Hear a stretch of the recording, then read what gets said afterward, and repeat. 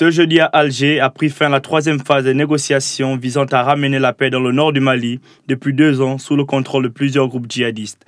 Un document de travail de 14 pages a été soumis pour étude aux différentes parties du conflit intermalien présentes sur le sol de la capitale algérienne depuis le début de la semaine. Ce texte intitulé Éléments pour un accord pour la paix et la réconciliation du Mali a été rédigé sur la base de propositions de l'exécutif de Bamako et de groupes armés impliqués dans le conflit. Il en ressort quatre principaux groupes de négociations thématiques couvrant la politique, les institutions, la défense et la sécurité. Le comité de médiation algérien, par la voix de Ramtam Lamamra, chef de la diplomatie du pays de Abdelaziz Bouteflika, a également proposé la création d'un Sénat. Cette chambre du Parlement serait chargée de représenter les collectivités territoriales ainsi que les notabilités traditionnelles et religieuses du Mali. Des représentants des pays limitrophes et de ceux qui ont des soldats engagés dans la MINUSMA ont tour à tour intervenu au cours de ces quatre jours. Les Tchadiens et les Nigériens n'ont pas manqué de rappeler la situation sécuritaire précaire, mise en lumière par la mort de plusieurs membres de leur contingent militaire en poste dans la zone de conflit. Rappelons à toutes fins utiles que c'est la troisième fois que ce genre de rencontre concernant la situation dans le nord du Mali se tient à Alger. La prochaine réunion aura lieu à Bamako le 26 novembre. Les protagonistes maliens ont donc un peu plus d'un mois pour s'accorder ou non sur la ratification d'un traité de paix. Après trois semaines d'une campagne largement atone, plus de 5 millions d'électeurs sont appelés aux urnes pour élire 217 députés dans 33 circonscriptions. Berceau des révoltes arabes, la Tunisie a filtré avec l'instabilité à plus d'une reprise, notamment lors de la terrible année 2013, marquée par l'essor des groupes djihadistes armés, les assassinats de deux opposants aux islamistes d'Ennada, mais aussi une économie toujours en berne. Pour aboutir à ces élections législatives de dimanche, la classe politique pourtant à couteau tiré s'est finalement engagée sous la pression de la société civile dans de longues négociations, lesquelles ont accouché d'une constitution consensuelle en janvier dernier, tout en adoptant la date du 23 novembre prochain pour la tenue de l'élection présidentielle. Cet exemple tunisien applaudi par la communauté internationale est considéré comme un modèle de réussite du printemps arabe. Les deux grandes formations rivales Nida Tunis et Ennada seront par ailleurs opposées à une kyrielle d'autres listes représentant aussi d'ex-opposants du régime déchu de Zine El Abidine Ben Ali que les concurrents proches de Nida Tunis, l'extrême gauche ou d'autres formations islamistes. Entamé depuis ce jeudi à Bruxelles, le sommet sur le climat a été au centre des négociations ardues entre les chefs d'État et de gouvernement de l'Union européenne. Les dirigeants européens se sont engagés à réduire d'au moins 40% les émissions de gaz à effet de serre d'ici 2030. Un objectif qui permettrait de mettre l'Europe en position de leader mondial dans la lutte contre le changement climatique. Je peux dire en conclusion que je suis très satisfaite. Vous savez qu'il y a eu de très longs débats et vous savez que pour certains pays, cela a été plus difficile que pour d'autres. À l'issue des discussions intenses qui ont duré près de 8 heures, un accord ambitieux et satisfaisant a été obtenu ce vendredi sur la réduction à 40% des émissions de gaz à effet de serre. Bien au-delà, les chefs d'État et de gouvernement se sont entendus également sur le partage du fardeau des énergies renouvelables pour 27% de la consommation. Dans le même temps, ils nourrissent l'ambition de faire 27% d'économie d'énergie par rapport à 1990, tout en améliorant les réseaux d'interconnexion pour les porter à 15%. L'Europe euh, montre l'exemple. Il s'agissait en effet pour euh, les Européens de savoir s'ils si allaient euh, s'imposer à eux-mêmes les règles qu'ils demandent aux autres de respecter, dans le cadre d'une lutte contre le réchauffement climatique, mais aussi d'une reconversion de nos industries. C'est un bon accord. Comme tout bon accord, c'est un compromis. Il a fallu du temps, beaucoup de temps.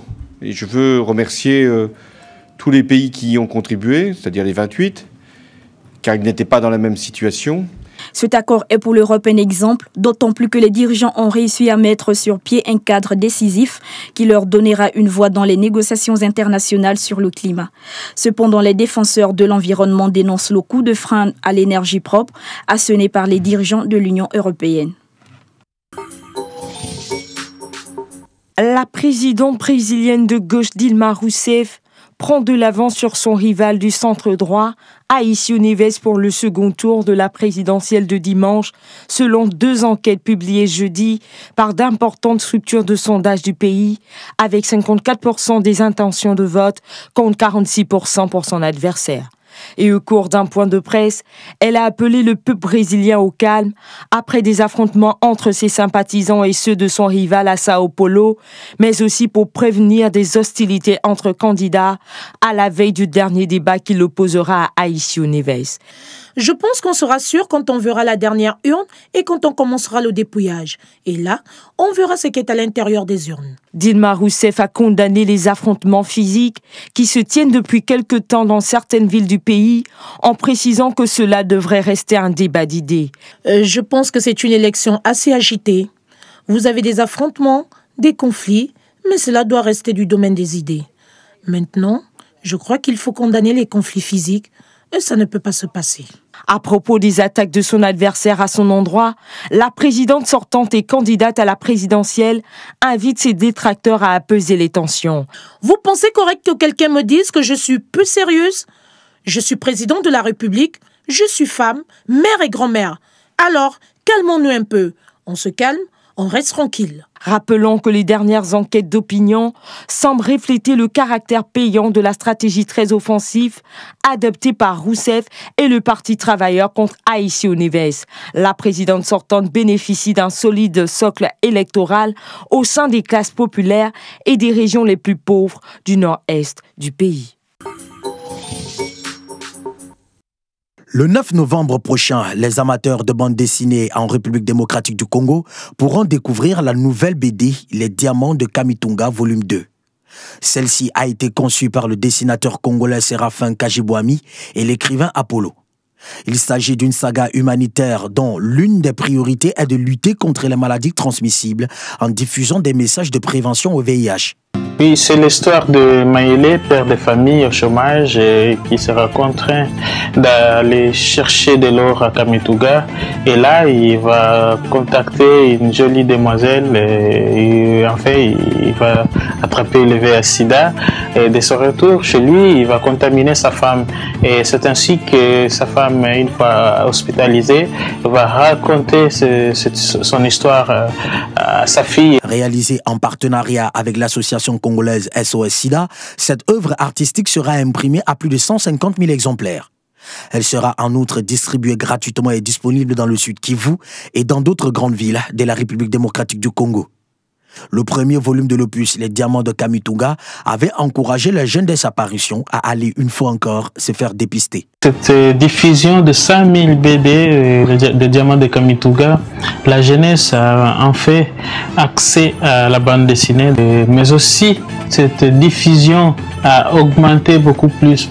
Donc le nombre de jeunes qui viennent euh, se dépister au centre de dépistage volontaire. En bref, il y a déjà 50 000 bandes dessinées de Diamants de Kamituga sont déjà distribuées euh, dans des écoles avec euh, l'appui du ministère provincial de l'Éducation. Outre le VIH, des thèmes plus universels de l'amitié et de l'amour devraient pouvoir intéresser une cible plus large dans d'autres pays de l'Afrique francophone.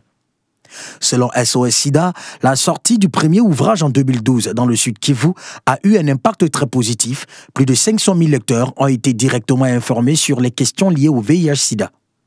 Il est dès lors possible d'espérer que d'autres thèmes de santé pourraient être abordés et expliqués et servir d'outils de prévention dans les pays d'Afrique de l'Ouest par exemple, touchés par le virus Ebola. Cette BD rejoint le Festival international de la bande dessinée en abrégé FIBDA, dont la septième édition s'est déroulée du 23 au 27 septembre dernier à Alger, avec pour objectif de valoriser davantage ce secteur de l'écriture en Afrique. Je suis Zola, j'ai 23 ans, je suis mangaka de la bande dessinée de Devil's Dream. C'est mon premier tome, il y en aura d'autres très bientôt et qui seront traduits aussi. On veut inciter les jeunes à lire. Euh, les jeunes euh, préfèrent regarder des films, ils te euh, par exemple, tu lui dis ce film est intégré, ce film était un roman avant qu'il soit intégré en, film. Mm. Il te dit non, je préfère regarder le film, je préfère pas lire le roman. Alors qu'il faut lire, il, faut, il est poussé à lire. Donc voilà. La bande dessinée, ça attire les jeunes. Ils vont lire, en même temps, c'est passionnant. Les mangas c'est très abordable. C'est parce que c'est destiné à cette tranche d'âge que c'est plus abordable que d'autres bandes dessinées. C'est justement pour ça, les jeunes s'intéressent surtout aux mangas. Ils voient, leur, ils voient les, les, les, mangas japonais, ils se disent voilà, celui-là c'est mon héros, celui-là je veux le dessiner, je veux, je veux devenir comme ça, je veux faire ça, ceci, cela. Voilà. Une manière de lutter contre des maladies, mais aussi d'être un maillot important pour la paix et la réconciliation sur le continent.